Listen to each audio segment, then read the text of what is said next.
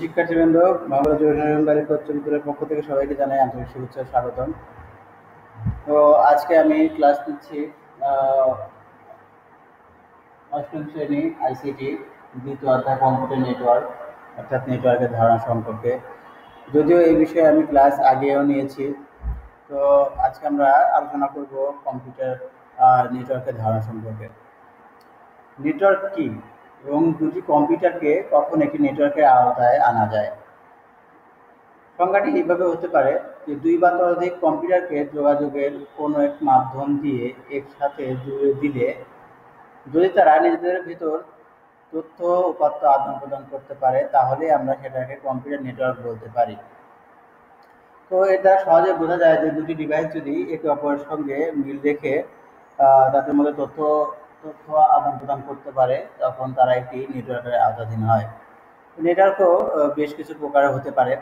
আমরা যদি একটি কম্পিউটার যদি বাসায় কিনে নিয়ে আসি, যতক্ষণ না পর্যন্ত সেই কম্পিউটারটিকে নেটওয়ার্কের আওতায় আনা না হয়, ততক্ষণ পর্যন্ত কিন্তু সেই কম্পিউটারের বৃহত্তটাই প্রকাশ পায় না।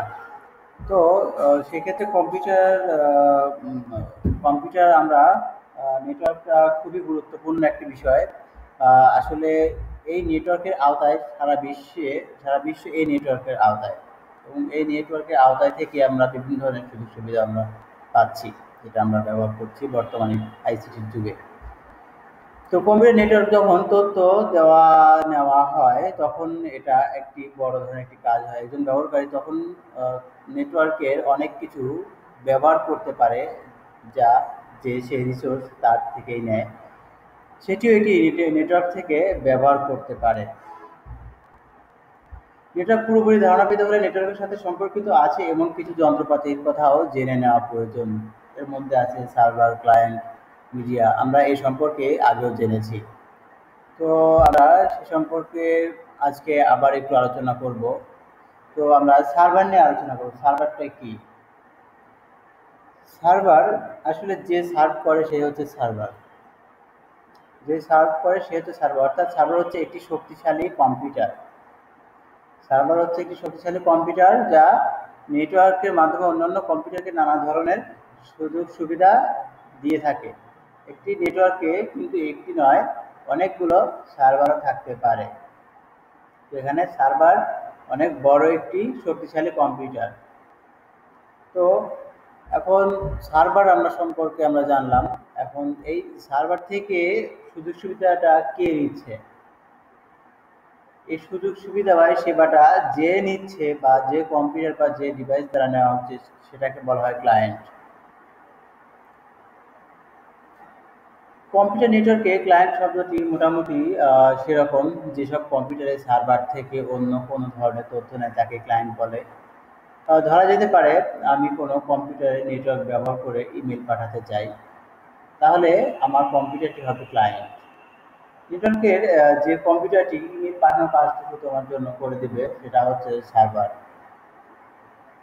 এক্ষেত্রে এই সার্ভারটি হলো ইমেল সার্ভার আমরা সার্ভার শিখলাম ক্লায়েন্ট শিখলাম।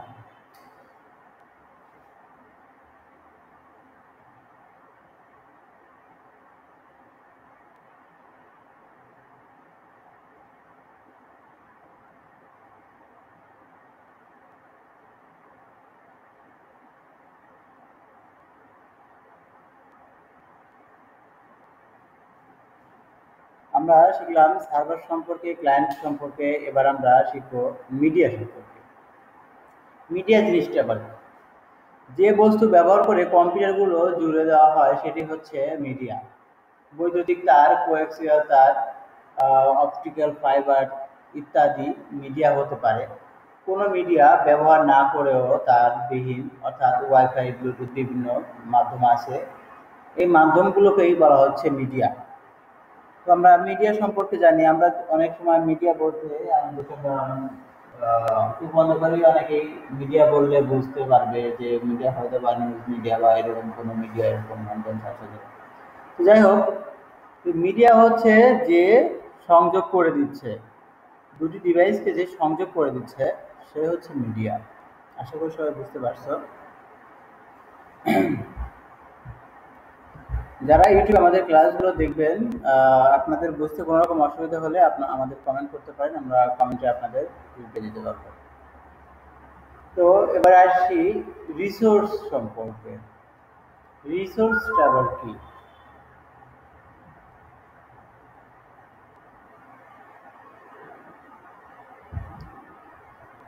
ক্লায়েন্টের কাছে ক্লায়েন্টের কাছে ব্যবহারের জন্য যে সকল সুযোগ সুবিধা দেওয়া হয় অর্থাৎ ক্লায়েন্ট কার সেবা নিচ্ছে সার্ভার থেকে সেবা নিচ্ছে। সার্ভার সার্ভ করছে ক্লায়েন্ট তার সেবাটি নিচ্ছে।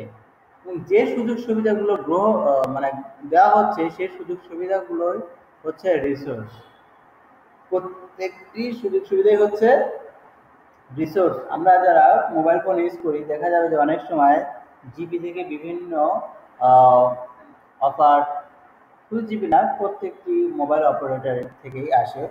এই যে সুযোগ সুবিধাগুলো, এগুলো হচ্ছে এক একটি রিসোর্স বলতে পারি আমরা। কম্পিউটারের সাথে যদি একটি প্রিন্টার বা একটি ফ্যাক্স মেশিন লাগানো হয়, সেটি হচ্ছে রিসোর্স কারণ এখানে একটি সুযোগ সুবিধার বিষয় রয়েছে। কম্পিউটার দিয়ে যদি কেউ সার্ভারে রাখা একটি ছবি আঁকার সফটওয়্যার ব্যবহার করে সেটিও রিসোর্স আমরা নেটওয়ার্ক ব্যবহার করে তারা শুধু যারা নেটওয়ার্ক ব্যবহার করে তারা শুধু যে রিসোর্স গ্রহণ করে, তা কিন্তু নয়।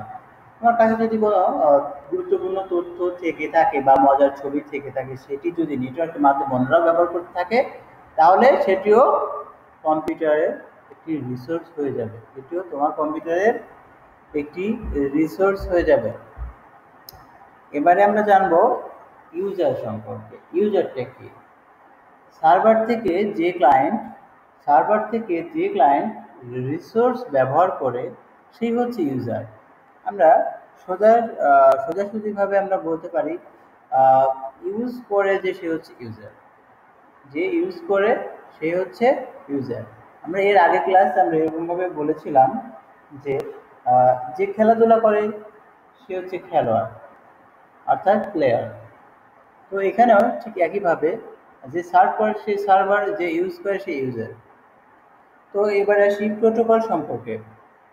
ভিন্ন ভিন্ন কম্পিউটারকে ভিন্ন ভিন্ন কম্পিউটারকে একসাথে যুক্ত করতে হলে এক কম্পিউটারের সাথে অন্য কম্পিউটারে যোগাযোগ করার জন্য কিছু নির্দিষ্ট নিয়ম মেনে চলতে হয়।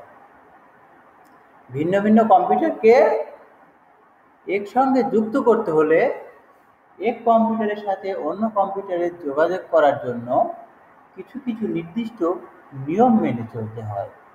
এইসব নিয়ম মেনেই তথ্য আদান প্রদান করতে হয়। যারা নেটওয়ার্ক তৈরি করে, তারা আগের থেকে ঠিক করে নেয় কোন ভাষায় কোন নিয়ম মেনে এক কম্পিউটার থেকে অন্য কম্পিউটারে যোগাযোগ করবে। এই নিয়মগুলোই হচ্ছে প্রোটোকল। যেমন ইন্টারনেটের, ইন্টারনেট ব্যবহার করার জন্য প্রোটোকল হচ্ছে হাইপার টেক্সট ট্রান্সফার প্রোটোকল, অর্থাৎ এইচটিটিপি আমরা প্রোটোকল সম্পর্কে জানলাম ইউজার সম্পর্কে জানলাম রিসোর্স রিসোর্স সম্পর্কে জানলাম সরি আমরা একটি জিনিস আমরা মিস করে গেছি, সেটা হচ্ছে নেটওয়ার্ক অ্যাডাপ্টার একটি কম্পিউটারকে সোজাসুজি নেটওয়ার্কের সঙ্গে জুড়ে দেওয়া যায় না। একটি কম্পিউটার সরাসরি নেটওয়ার্কের সঙ্গে যুক্ত হতে পারে না। এর জন্য একটি ডিভাইসের প্রয়োজন হয়, একটি যন্ত্রাংশের প্রয়োজন হয়, যাকে বলা হয় এনআইসি অর্থাৎ নেটওয়ার্ক ইন্টারফেস কার্ড সেই কার্ডগুলো তখন মিডিয়া থেকে তথ্য নিয়ে ব্যবহার করার জন্য কম্পিউটারকে দিতে পারে, আবার কম্পিউটার থেকে তথ্য নিয়েও নেটওয়ার্কে ছেড়ে দিতে পারে। এটা হচ্ছে নেটওয়ার্ক অ্যাডাপ্টার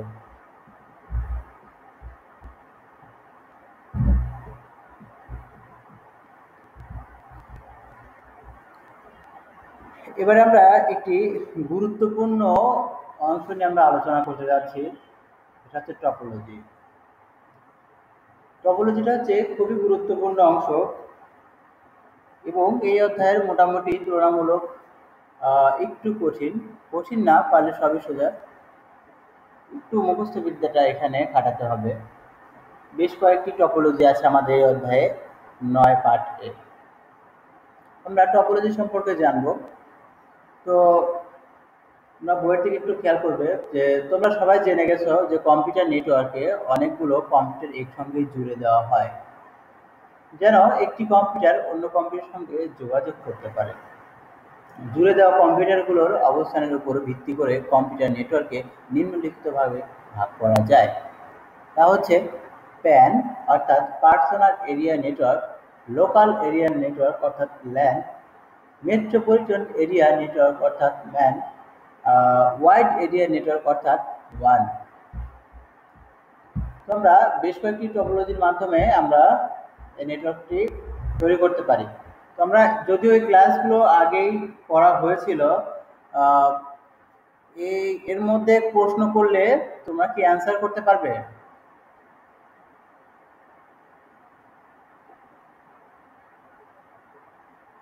অর্পিতাকে দেখছি দিহানকে দেখছি। শুনতে পাচ্ছ? জি স্যার। আচ্ছা অ্যানসার করতে পারবা? চেষ্টা করব আচ্ছা ঠিক আছে। বললে কে? ওর অর্পিতা রানী না? জি স্যার। আচ্ছা ঠিক আছে।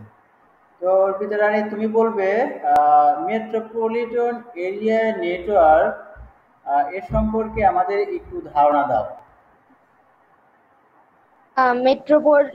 মেট্রোপলিটন এরিয়া নেটওয়ার্ক হলো মানে ম্যানের পূর্ণরূপ। আর এটা হলো এমন এক ধরনের নেটওয়ার্ক যেখানে যেটা সারা দেশ জুড়ে থাকে। না এটা সারা দেশ জুড়ে থাকে না একটা শহরের মধ্যে বিদ্যমান থাকে এটা। ও হ্যাঁ শহরের মধ্যে এটা বিদ্যমান থাকে হ্যাঁ সরি আচ্ছা।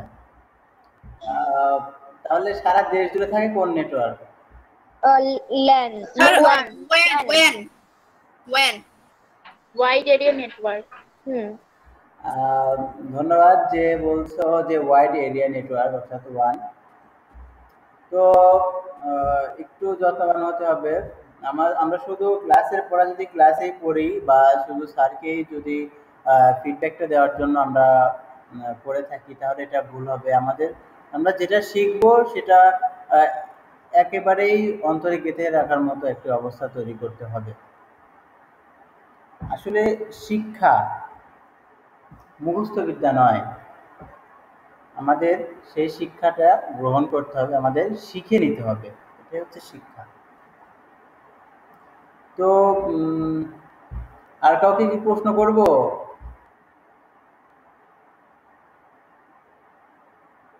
মৃদুলা।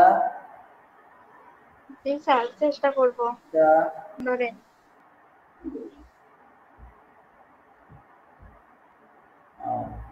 আচ্ছা নেটওয়ার্ক সম্পর্কে একটু ধারণা দাও যে কোনো একজন। দেখি তো কি অবস্থা মনে আছে কিনা তোমাদের?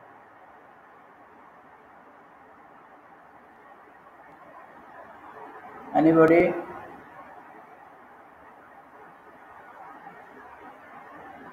কম্পিউটার নেটওয়ার্ক সম্পর্কে ধারণা কে দিতে পারবে?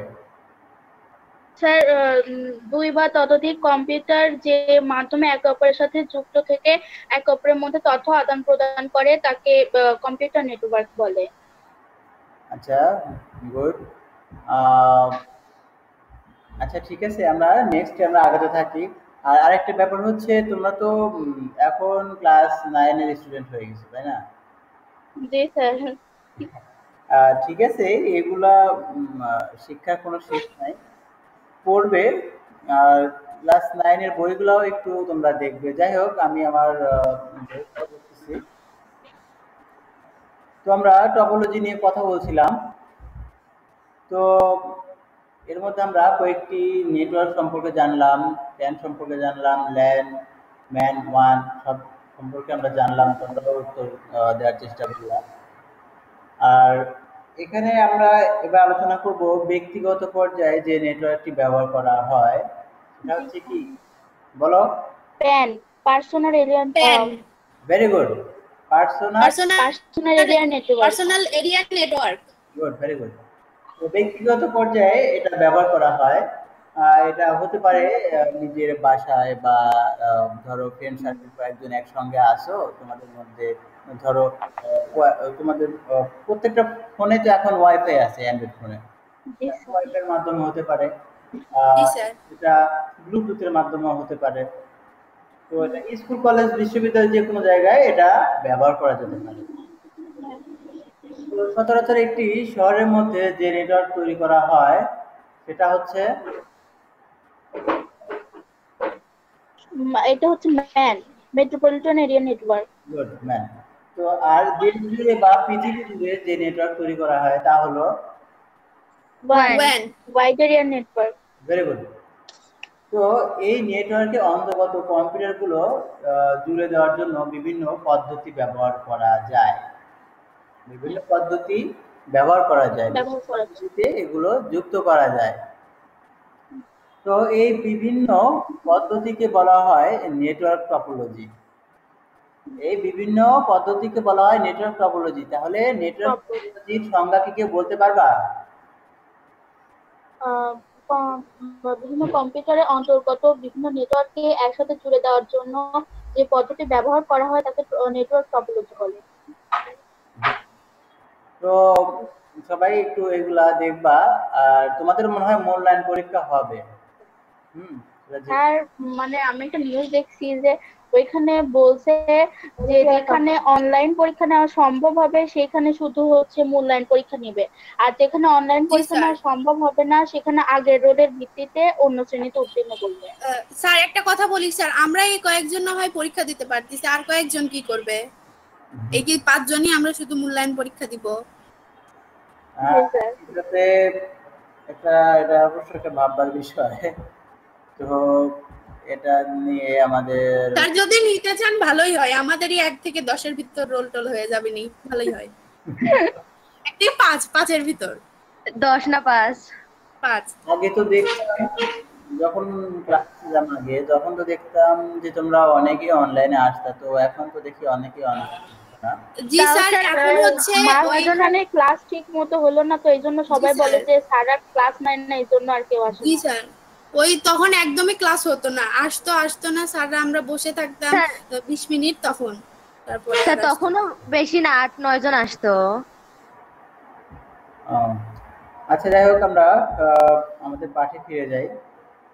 তো আমরা বেশ কয়েকটি টপোলজি নিয়ে আমরা আলোচনা করেছিলাম যদিও আহ, নতুন করে ক্লাস নেওয়ার উপর থেকে নির্দেশ এসেছে যার কারণে আমি ক্লাসগুলো আবার নিচ্ছি যদিও বইটা শেষ। আহ, এর মধ্যে আহ, তোমরা কি কেউ বলতে পারবা যে কয়েকটি টপোলজি সম্পর্কে আমরা শিখেছিলাম। টপোলজিগুলো কি কি? চেষ্টা করো। না পারলে সমস্যা নাই। চেষ্টা করো। পারবা কেউ বলতে? জি স্যার পারব। আচ্ছা বলো। জি স্যার পারব। Sir bus topology ring topology star topology tree topology mesh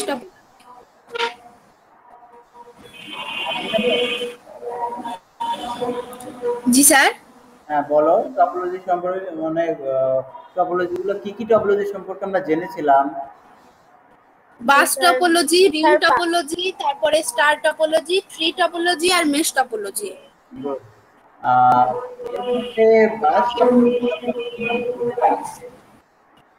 sir বুঝতে না কথা।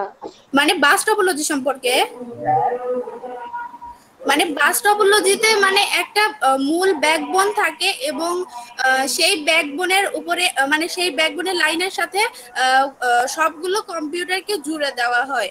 আর হচ্ছে বাস টপোলজিতে কোনো একটা কম্পিউটার যদি মানে নষ্ট না বাস টপোলজিতে কোনো একটা কম্পিউটার যদি অন্য কোনো কম্পিউটারের সাথে মানে সংযোগ করতে চায়, তাহলে সব কম্পিউটারের কাছে সেই তথ্য পৌঁছে যায়।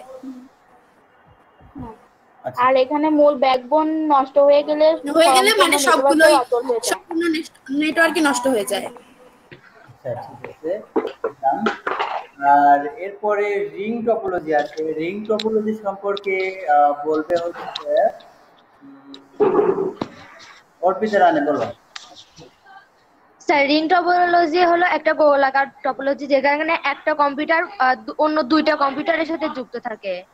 আর এখানে একটা মানে রিং টপোলজিতে তথ্যগুলো যায় নির্দিষ্ট একটা দিকে। আর এগুলো একটা কম্পিউটার নষ্ট হয়ে গেলে সব মানে নেটওয়ার্কটাই অচল হয়ে যাবে।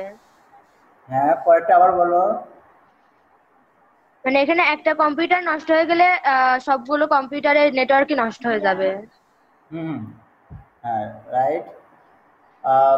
আরেকটি কথা রিং টপোলজি সম্পর্কে আমরা যখনই বলব উল্লেখ করব যে এটা হচ্ছে গোলাকার বৃত্তের মতো, এটা উল্লেখ করব। কারণ আমাদের বইতে যদি আমরা ফলো করি, দেখা যাবে যে দুই জায়গায় কথাটি উল্লেখ করা আছে। তো রিং গোলাকার বৃত্তাকার, এটা মনে রাখবা। তাহলে দেখবা যে সহজে রিং টপোলজি সম্পর্কে একটু হলেও মাথায় ক্যাচ করতে সুবিধা হবে। এরপর স্টার টপোলজি সম্পর্কে ছোট অর্পিতা বলতে পারবা?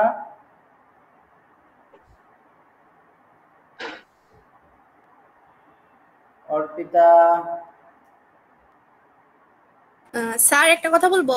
হ্যাঁ বলো। আমাদের ক্লাস কি এগারোটা চল্লিশে হওয়ার কথা ছিল না? তোমরা আসলে জানো না হয়তোবা। নতুন একটা রুটিন করা হয়েছে। হ্যাঁ হ্যাঁ মানে ওই রুটিনেই তো লেখা আছে এগারোটা চল্লিশ থেকে বারোটা দশ পর্যন্ত। এগারোটা চল্লিশ থেকে বারোটা দশ। হুম ছিল কিন্তু এই সময়টা এই পিরিয়ডটা কোনো শিক্ষক নাই। মানে কেউ ক্লাস নিতে আসে নাই যার ফলে এই সময়টাকে কাজে লাগাই দিচ্ছি আর কি। ও আচ্ছা। হ্যাঁ তো তোমরা কি রুটিন পাইছো সবাই? জি স্যার। জি স্যার। হ্যাঁ তোমরা ক্লাস এইটের পাশাপাশি ক্লাস নাইনের বিষয়গুলো তোমরা একটু খেয়াল করবে। মানে করবা। আর যদি সম্ভব হয় ক্লাস নাইনের বইগুলা সংগ্রহ করার তো তোমরা করবে বই সংগ্রহ করছি। জি স্যার বই সংগ্রহ হয়ে গেছে অনেক আগে। আচ্ছা ঠিক আছে। তোমরা অনেক অ্যাডভান্স আচ্ছা আহ, ছোট অর্পিতা কোথায় জানি না ঘুমায় গেছে মনে হয়। না স্যার ওর ওইখানে এনিওয়ে সাউন্ড হচ্ছে অনেক জন্য কথা বলতে পারতেছে না। নপুর বলতে পারবা? নপুর শুনতে পাও? নপুর জি স্যার কিন্তু আমার মনে নাই। স্যার আমি বলব। সত্য কথা বলার জন্য অসংখ্য ধন্যবাদ নপুর চেষ্টা করতে হবে। তো নপুর তুমি কি টি টপোলজি সম্পর্কে বলতে পারবা? বা মেশ টপোলজি যে কোনো একটা? স্যার সাদা গুছায় ঠিক বলতে পারব না আমি। আচ্ছা ঠিক আছে। তাহলে আচ্ছা টপোলজি সম্পর্কে কে বলতে পারবা? স্যার পারব। কে আপনি? স্যার আমি মৃদুলা। মৃদুলা। আচ্ছা ঠিক আছে। মৃদুলা বলো তাহলে মেশ টপোলজি সম্পর্কে আমরা একটু জেনে নেই আহ, টপোলজি স্যার মেশ টপোলজি একটি কম্পিউটার আরেকটি কম্পিউটারের সাথে যুক্ত থাকে এবং এটি হচ্ছে একাধিক পথে যুক্ত হতে পারে। মানে একটি কম্পিউটার সরাসরি নেটওয়ার্ক যুক্ত অন্য সব কম্পিউটারের সাথে যুক্ত থাকে। এক্ষেত্রে যদি একটি কম্পিউটারে নষ্ট হয়ে যায়, তাহলে পুরো নেটওয়ার্কটি অচল হয়ে পড়বে। এক্ষেত্রে মানে একটি কম্পিউটার নষ্ট হয়ে গেলে নাকি যেন বললা হ্যাঁ বলছে যে একটা নষ্ট হয়ে গেলে মানে পুরো নেটওয়ার্কটাই নষ্ট হয়ে যাবে। না স্যার এটা হচ্ছে রিং টপোলজি এটা তো হুম তাহলে একটি মানে কম্পিউটার এটাতে একটা কম্পিউটার অন্যান্য কম্পিউটারের সাথে একাধিক পথে যুক্ত হতে পারে। আচ্ছা আমরা একটু মেশ টপোলজি সম্পর্কে আমরা একটু জেনে নেই দেখি বইতে কীভাবে দেওয়া আছে? দেওয়া আছে যে তোমাদের বইতে কীভাবে দেওয়া আছে এই টপোলজিতে কম্পিউটারগুলো একটি আরেকটির সঙ্গে যুক্ত থাকে এবং একাধিক পথে যুক্ত হতে পারে মৃদুলার কথাটি রাইট এরপরে এখানে এখানে আসছে যে কম্পিউটার মানে এই এই টপোলজিতে প্রত্যেকটা কম্পিউটারই প্রত্যেকটি কম্পিউটারের সাথে যুক্ত থাকে। হ্যাঁ হ্যাঁ মৃদুলার কথা ঠিক আছে। তো আমরা একটু পর্যালোচনা করছি।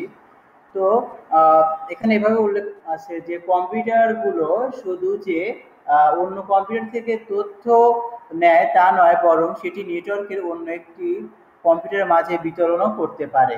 যদি এমন হয় যে একটি কম একটি নেটওয়ার্কের প্রতিটি কম্পিউটারই সরাসরি নেটওয়ার্কভুক্ত অন্য সবগুলো কম্পিউটারের সাথে যুক্ত থাকে, তাহলে সেটিকে বলে কমপ্লিট মেশ তো কমপ্লিট মেশটা সম্পর্কে একটু তোমরা ইয়ে করে রাখবা জেনে রাখবা।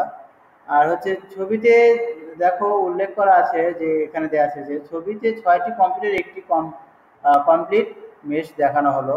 তো এখানে তো এটা উল্লেখ নাই। তুমি কি শিওর যে একটি কম্পিউটার নষ্ট হলে পুরো নেটওয়ার্ক ব্যবস্থা নষ্ট হয়ে যায়? আহ, আমি শিওর না তবে মনে হচ্ছে যেহেতু প্রতিটা কম্পিউটার প্রতিটা কম্পিউটারের সাথে যুক্ত থাকে আহ, এক্ষেত্রে হতে পারে। আচ্ছা মৃদুলা। জি স্যার আমারও তাই মনে হচ্ছে। কি মনে হচ্ছে?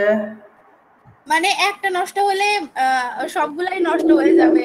কারণ সবগুলোর সাথেই যেহেতু সবগুলোর মানে সংযুক্ত আছে সবগুলো। আচ্ছা। আমার তাই মনে হচ্ছে আমার ধারণা তাই।